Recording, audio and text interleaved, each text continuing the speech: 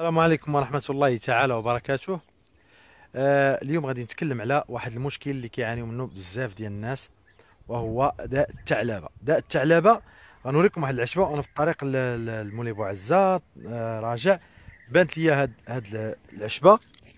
ها هي. هادي كتحرقوها يعني كتاخذوا هاد هاد هاد الراس هذا هادي. كتاخذوا هادي هاد الكويرات. كتحرقوا مزيان. هاد الكويرة كتقص كتجمع كتجمعوهم.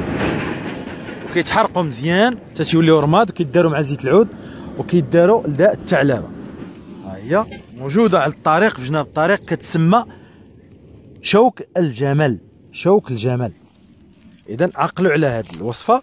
إن شاء الله وصفة لداء الثعلبه كتاخذ هاد الكره هذه ديال الشوك. وكيتحرقوا مزيان في, الج... في, في العافية.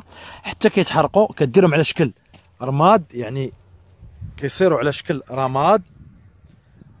وملي كتصير على شكل رماد كتخلطها مع زيت الزيتون وكتبقى ديرها من الليل الليل يوميا تحك بها شعرك البلاصة اللي فيها داء الثعلبه إن شاء الله الرحمن الرحيم مدة ديال شهر شهرين إن شاء الله كتبدأ تشوف النتيجه بإذن الله.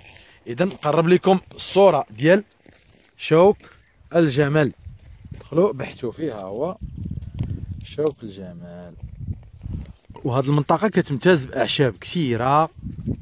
إن شاء الله غادي نتكلم لكم على أعشاب أخرى إن شاء الله. إذا شوك الجمال خاص لداء الثعلبة نتمنى إن شاء الله تدعيو معنا بالتوفيق بإذن الله باش نستمروا في الأعمال لا الخيري ولا العمل ديال العلاج بالأعشاب إن شاء الله.